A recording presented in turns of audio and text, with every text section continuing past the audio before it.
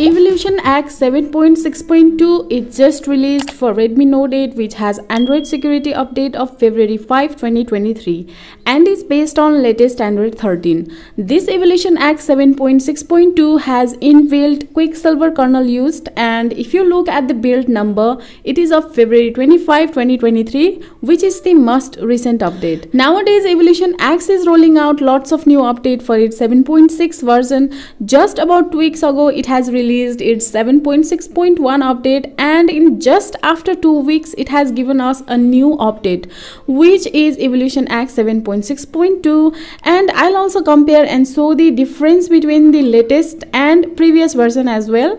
I have installed this rom on my redmi note 8 and in this video i am going to show its new features change logs improvements antutu benchmark scores geekbench 5 and 6 scores cpu throttling test results safety net status and many more of this evolution x 7.6.2 so let's get started. Change logs First of all, I'll show the change logs of this Evolution X 7.6.2 ROM and you can see this device change log on the screen. It has fixed the issue with screencast and also fixed issue with MI cam ultra wide that some people were facing. It has bring back parallel space and custom QS panel that were removed in its previous build and many other change logs that you can see on the screen. Camera in its previous build, it has both MI camera and aperture camera but in this latest build it has removed aperture camera and only MI camera is available and it has fixed ultra wide mode in this build that some people were facing problem in its previous version and now this MI camera is working perfectly with all of its feature like slow-mo, portrait, 48 megapixel camera etc. And if you look at the history of camera available in Evolution X ROM, it has provided both MI and aperture camera on its 7.4 version. And in 7.5 version, it has Gcam Go available. And in 7.6.1, it has both MI and aperture camera present. And now in its 7.6.2 version, it comes with MI cam only. Antutu benchmark score. Now let's see the benchmark scores of this ROM and I'll start with Antutu benchmark and I had already run the test and you can see the Antutu benchmark score on this screen which is 204328 and if we compare this score with its previous build in Evolution X 7.5 the Antutu score was 202950 so in terms of score I think it has some better results.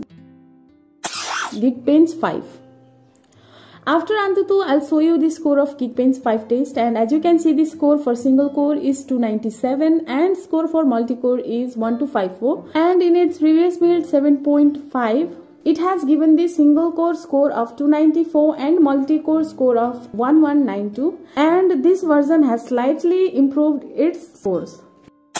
Geekbench 6. Geekbench 6 had just released in this February and I had already run the test on this Evolution X. For single core the score is 319 and for multi-core the score is 1171. Safety net status. After Geekbench results, let's see whether its safety net is passed or not and as you can see it has passed the safety net compatibility test. And also I'll show the play protect certification level. And as you can see in the play protect certification device is certified written. CPU throttling test right after safety net status I'll show you the result of CPU throttling test. I had run this test for 5 minutes and you can see the results on the screen as no CPU thermal throttling was detected after the test conducted for 5 minutes. And in previous build too we have got the same results wallpapers and styles. Inside its wallpaper and style there is a feature that is missing and was present on its previous build which is custom themed icons. And yes this option is removed in this version of evolution x rom but despite that you will get all the features like wallpaper colors basic colors dark theme themed icon app grid system icon packs and system fonts features. Launcher Talking about launcher, it comes with Evolution X launcher and from its recent app section you can find Force Close app, Split Top, on install and freeform features. And if you look down there are three different quick actions available including lens options but you can now even add two more features in it from its recent settings and they are pin app and kill app feature. And from its miscellaneous you can enable parallel space use taskbar and get hidden and protected apps feature. Quick setting. And this is how quick setting panels look like which have some new additional tiles like Dolby Atmos, sleep mode, portrait screenshot, heads up, extra dim and many more. And you can take partial screenshot just by long pressing on this screenshot tile. Settings. Now let's explore what's inside its settings section.